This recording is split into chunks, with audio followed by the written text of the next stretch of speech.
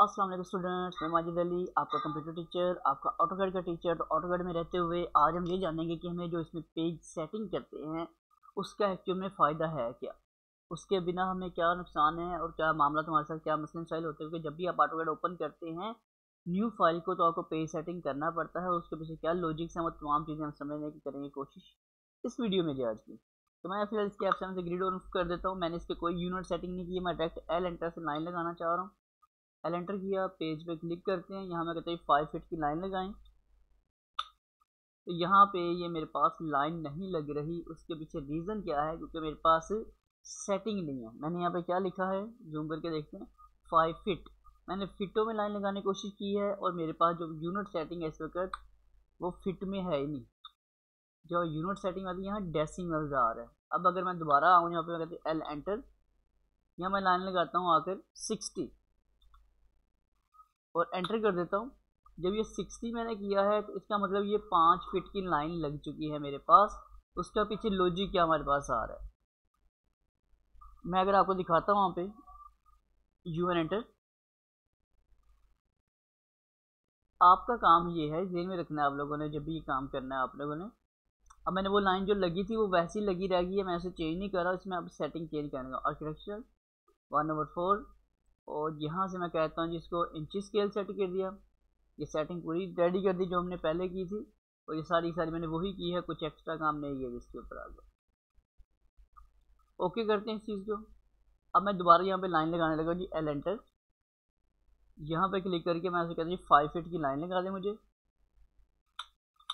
अब अगर आप इसको देखेंगे तो बिल्कुल सेम सेम लाइन है, बस थोड़ी सी डायरेक्शन मैंने टेढ़ी लगा दी है। मैं चलो वो भी सही कर ताकि आपको टेंशन ये भी ना बने। यहाँ से मैंने इस तरह लाइन लगा तो एफ़ एट करते हैं लाइन स्टेट हो जाएगी फाइव फिट लिख के एंटर किया। तो ये मेरे पास दोनों लाइनें इस वक्त एक जैसी आ रही हैं। अब चेक करते हैं इनकी पैमाइश क्या आ रही है। इसलिए मैंने कहा था डी ए एल यूज़ कर लेते हैं डबल एंटर करते हैं। जो पहले अभी लगाई है, पहले उसको चेक करते हैं। जो अभी लगाई है, उसका भी लिखा आ रहा है सिक्सटी और जो मैंने पहले लगाई थी, उसके साथ वैल्यू क्या लिखी आ रही है? उसके साथ भी सिक्सटी लिखी आ रही है।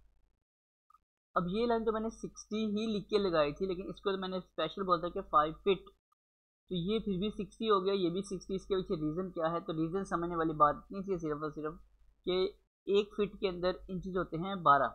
तो बारह को फाइव से जब मल्टीप्लाई किया तो बारह पाँच साठ बनता है हमारे पास टेबल की बेस के ऊपर। तो यहाँ पर जो डायरेक्ट शुरू में पॉइंट की वैल्यू थी, वो एक्चुअल में हमारे पास आ रहा था इंचज़ में स्केल था, और हमने उसे बोला था कि साठ इंचज़ की लाइन लगाओ। साठ इंचज़ इज़ इक्वल टू पाँच फिट की लाइन बनती है आपके पास। जो बाय डिफ़ॉल्ट डेसिमल्स में लोग काम करते हैं, वो समझ जाना है कि वो इंचज़ में डायरेक्टली सारा को सारा काम करे, वो लिखेंगे भी इंचज़ को मल्टीप्लाई करके करेंगे तो फिर वो फिटर्स में चेंज होंगे अपने पास।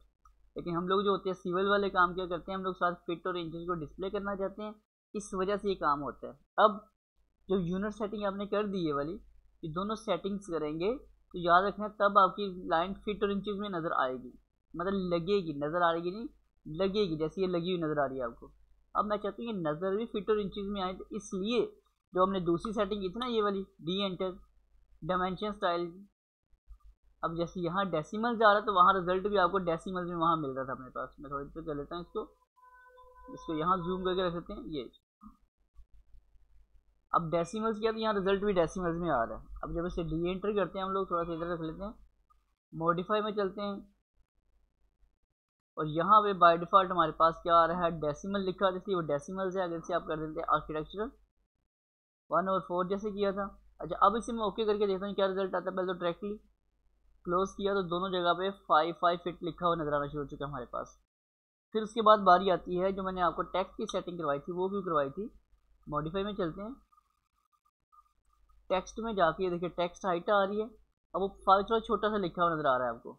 लेकिन जब यह मैं सिक्स या सेवन लिख के ओके करता हूँ तो ये देखिए जी तो दूर से ही आपको आपकी लाइन की पॉइंट काफ़ी अच्छे से नज़र आनी शुरू हो जाएगी, क्योंकि अभी तो छोटी लाइन है, वही फाइव फीट की, जब हम कोई कनाल का, दो कनाल का, दस कनाल घर बनाते हैं तो वहाँ ये जो बड़ी पमाइश लग रही है, वो छोटी छोटी लगनी शुरू हो जाती है।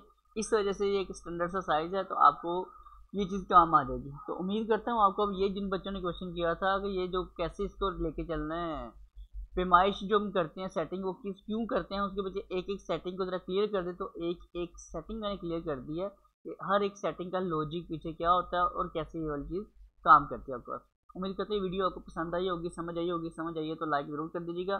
चैनल पे फ़र्स्ट टाइम तो सब्सक्राइब कर दीजिएगा। मुलाकात करेंगे एक नेक्स्ट वीडियो में। वहाँ दोस्तों को अल्लाह हाफिज़। Bye bye